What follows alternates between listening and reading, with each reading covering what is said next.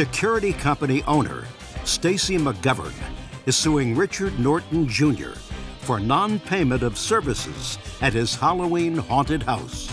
Ms. McGovern, it is your claim that the defendant owes you for security services that you provided for a business that he had. Yes, Your Honor. And Mr. Norton, I understand that this business that you had was originally what they call an escape room. Yes, Your Honor. Which means that people have to get it's a game it's a sport. People are in the room, and there are various clues that they have in order to get from one place to another. They yes, have to find the right clues. And I gather from your answer that you were taking this escape room to a different level, and you wanted to turn it into a haunted house.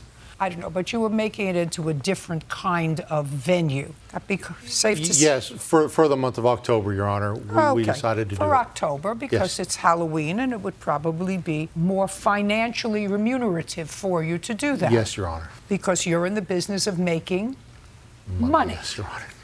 And people come and pay you money to come into your haunted house. Yes. And you have a security business. Yes, Your Honor. Where you employ I gather from your complaint, off duty peace officers yes. to act as security. Mm-hmm. Now, Mr. Norton, Miss McGovern provided security services for your haunted house for how many days? Uh, for approximately nine days, Your Honor. And what I would like to know, Mr. Norton, is how much you paid Miss McGovern. She provided two peace officers? Not, not every day, no, Your Honor. Sometimes she provided one. Yes, Your Honor. And sometimes she provided two. Uh, yes, Your Honor. How many days of the nine days did she provide one? Um, it was every day except for Halloween and I believe the Saturday before Halloween. And those days she provided two? Yes. And she provided two because you asked her for an extra one for those heavier days. Well, we felt I assume, not we thought, I don't care what you thought. If she provided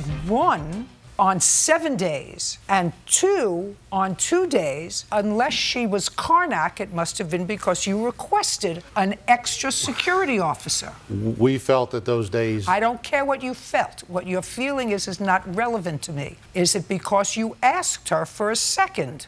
Uh, yes, Your Honor. That would be the answer. You asked her for a second. I have the now, actual.